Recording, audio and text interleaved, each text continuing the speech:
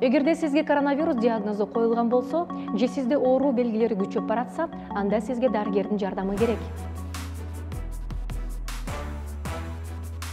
Бирок дарыгердин сунушун так аткарыңыз.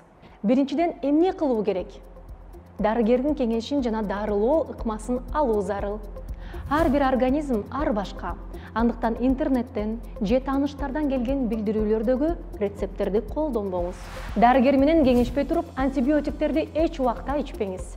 Жашаган жериңиз боюнча үй бүлөлүк медицина борборуна кайрылыңыз. Ошондой эле жүз он сегиз телефону аркылуу кеңеш алсаңыз болот. Эгерде сизге ээне сайдыруу же дарыны тамчылатып алуу керек болсо медайымды үйгө чакырып же күндүзгү стационарларга кайрылсаңыз болот. Медайымдарды медсестры kg телеграм каналынан табууга болот. Күндүзгү стационарлар шаарда ачылган. Алар эртең мененки сегизден кечки сегизге чейин иштешет. Бирок стационарлар бул оорукана эмес. Ал жерде сизге дарыларды сайып же тамчылатып бере алышат. Ал жерде көпкө турууга болбойт. Күндүзгү стационарларга баардык керектүү дары дармектер менен келишиңиз керек.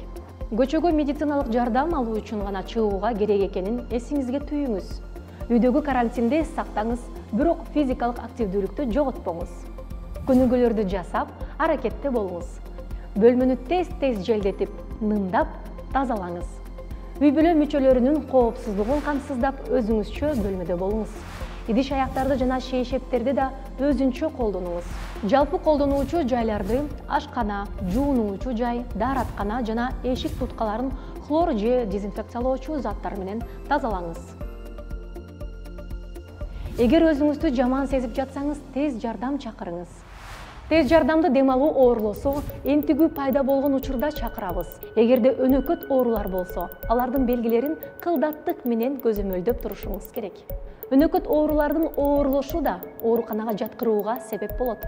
Эгерде сиз оорунун баардык белгилери өтүп кеткенин сезсеңиз да башкаларга жуктурбоо үчүн дагы он төрт күн обочолонууда болуңуз Есіңізді болсын, жақшы маңай коронавирус инфекциясын дағарылуының маанилүү компоненттерінің бири. Тезинен сақайып кетіңіз.